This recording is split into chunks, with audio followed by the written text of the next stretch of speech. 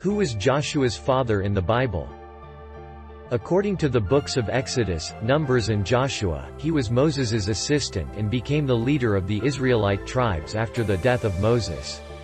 His name was Hoshea, Wosea the son of Nun, of the tribe of Ephraim, but Moses called him Joshua Numbers chapter 13 verse 16, the name by which he is commonly known.